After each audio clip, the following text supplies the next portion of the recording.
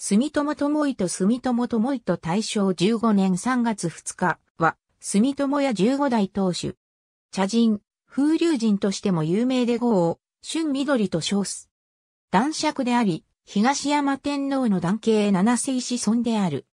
東山天皇の五世孫である、十一位右大臣、徳大寺金糸の第六子として生まれた。母は、千代浦綾子で、幼名を高丸と称した。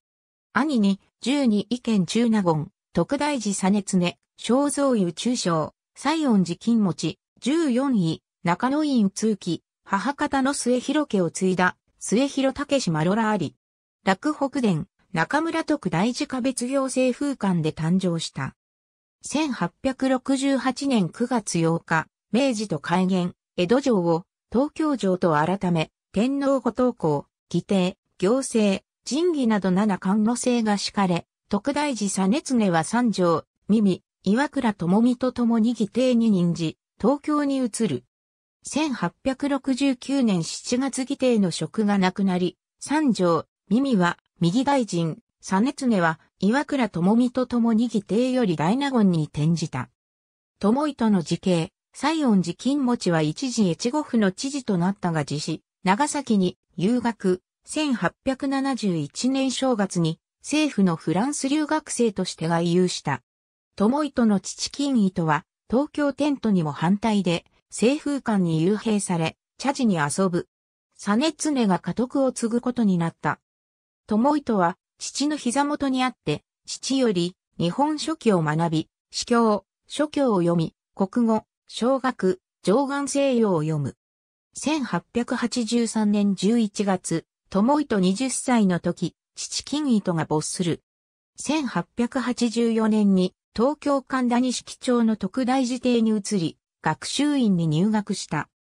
1885年、西園寺金持は、特命全権講師としてオーストリア及びドイツに駐在。友糸は1885年に学習院中学科生となり、1887年には法律専科に入って5年級まで進んだ。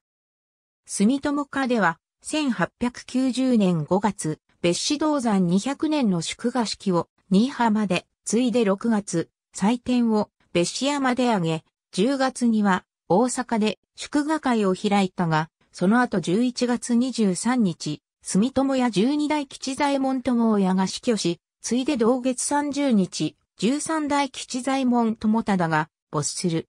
とりあえず12月には、住友友親の母徳が14世を継ぐことになる。明治維新の混乱期を切り抜け、再建に努力してきた住友総理寺、広瀬再平は、そのおいで、補佐の地位にあった伊庭帝号と協力し、その後継者の選定にあたる。そして、特大寺家の一子友糸に着目し、それを迎えることにする。内大臣秘書官日高秩父が自重長、徳大寺実常の有筆の職にあり、この日高が最初この縁談を見つけ、ついで宮内省の寺、岩佐純学内教であり、自重長であった徳大寺実常と親しく、売借に立つことになる。伊庭帝号は、友糸の人物を調査し、三宅坂三号神社付近の規定に、徳大寺実常、西園寺金持、中野院通期の三兄と友糸を招いて、住友家の内情を詳しく説明し入りへ起こった。かくて1892年4月18日、友糸は長女饅頭の婿として、住友徳の養子師となった。この直前に友糸は学習院法律専科を5年生で退学している。以来大阪うなぎ谷の住友本邸に住むことになる。1893年4月、住友15世を継ぎ、高丸を改め、住友吉左衛門とも糸とと称した。後に、春緑と号した。1893年4月28日相続の式を挙げ、以来家業を継承して、別種銅山の工業を経営し、神戸市に同貿易をなし、また、再生茶及び小脳製造業を行い、滋賀県坂田郡西海村において、キート業を営む、広瀬再平が総理人としてあり、実際の経営にあたるが、友糸は別種銅山を巡視し、各社を視察し、商事炭鉱を買収した。しかし、友糸入籍の後、困難な事態が発生する。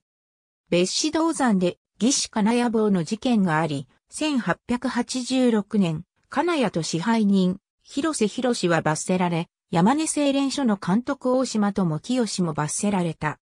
1892年2月、別紙支配人、広瀬博は自死、再兵の老い、久保森明が変わる。しかし大島智清は再兵を失脚させるため、郷里尾の道に帰り、5万円の借用を願う。忠熊炭鉱の買収に再兵の飛行ありとし、友清は耐震勧告をなし、再兵に拒絶され、ついに再兵の弾劾上申書を課長に提出する。伊庭帝号は単身別紙山に登り、人々を沈めるべく支配人、久保森明に代わる。さらに新居浜に塩害問題があり、再兵弾劾が重なる。友糸は大島友、清をスマ別邸に隠見した。友清は再兵大臣の上申書をもって、友糸の前に出たが友糸の説論を受けている。住友家にとり、総理事あるいは最高幹部の人事は重大であり、まして再兵は大黒柱的存在であった。しかし友糸は、西園寺金持ちの力を借りて、再兵の辞表を受け取り、同時に大島をも罷免して、喧嘩両成敗の形をもって取り収める。あとは、再兵の多い、伊庭帝号に継がすということで、おそらく、再兵を納得させたものである。住友家では1895年には本店を富島町より中之島5丁目に移し、同所に住友銀行を開業し、神戸支店、川口、兵庫出張所を置いている。住人局という重役室は中之島営業場の奥の一宮にあり、宅を囲んだ重役の中に友糸はガラスを隔てて営業場を見渡す位置に占めていた。銀行の業績は住友に対する社会の信用の最も直接の権限になる。また銀行は地元を本拠とする新規の号であったので、友糸の関心は銀行に特に深かった。銀行の支店長会議も、うなぎ谷の洋館で開かれるのが条例であった。友糸は大阪の実業界の地位を高めるため率先して努力していた。1896年には下法の改正をなし、1897年には理事、伊庭帝号を総理事心得とした。1900年総理事となる。従来の課長、総理人、支配人、副支配人、理事で構成していた住人局も廃した。総理人を総理事としたのである。1897年4月、友糸は欧米万有の都に着く。サンフランシスコ、シカゴ、ニューヨークより5月パリに着き、ロンドンに向かい、欧州諸国をめぐって10月3日、マルセイユ出版。パリでは、西園寺金持ちの病気を見舞っている。各地で美術館、博物館を見、欧米の富豪が公共施設に力を尽くし、事前事業に資材を出すのに感銘を受ける。随行は、松村豊吉、鈴木正也、吉田真一であり、218日間の旅であった。特にシカゴ美術館でこの建物の保存にアメリカの富豪マーシャルフィールドが100万ドルを寄付したことを知り、深く心に帰すところがあり、自ら社会的使命の一つとして公共用の施設を建設したいとの希望を持つに至った。記帳後は生活様式も洋風にし、社交術も身につけ、また住友の有能な職員を外国に学ばせることにしたのも、友糸の意向を反映している。大阪府立図書館設立時の寄付など社会事業にも関心が高く、関西における近代好き者の一人であり、中国古道記類の世界的収集家としても知られた。千億博フル建のコレクションの多くを友糸が収集した。建築や庭園にも造形が深く、先祖から引き継いだものも含め15の邸宅を所有した。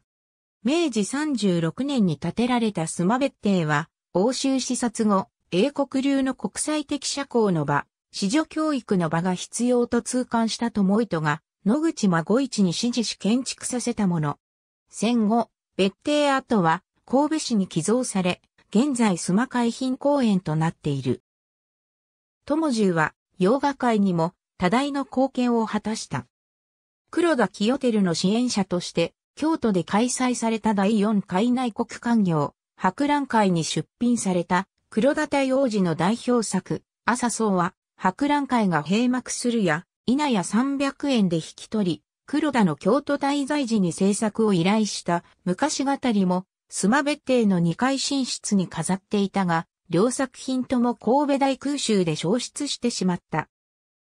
友十は、黒田清照のみならず、京都の鹿小木武四郎が東欧する際の費用を支給したほか、海外での作品の購入も任せていた。浅井正が院長を務めた関西美術院に対しても建設費など2000円の援助を行った。住友吉左衛門に関するカテゴリー。ありがとうございます。